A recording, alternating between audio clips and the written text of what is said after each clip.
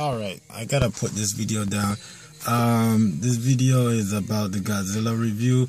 The Godzilla video could have been better, but I don't know. The movie, the movie could have been better, but it was decent enough and it was kind of good and kind of pure. Yeah, I hope this shit isn't too bright, but I'm in my car, just came from the theater. But uh, the movie was sort of good, and uh, I don't think, but I, I don't know. I kind of kind of disappointed about the movie, but the movie is it's all right. That's all I can say. It's just okay. It could have been better. They should have put more work on it. I think it finished too quick. The fights were a little short when the Godzilla made his first scene. Like the cut us off, it was like they were teasing us. It was, was kind of weird, but yeah, that's all I could say. It wasn't that great, but Godzilla movie was good. That's all I could say, but it wasn't cool. But that's it I could say.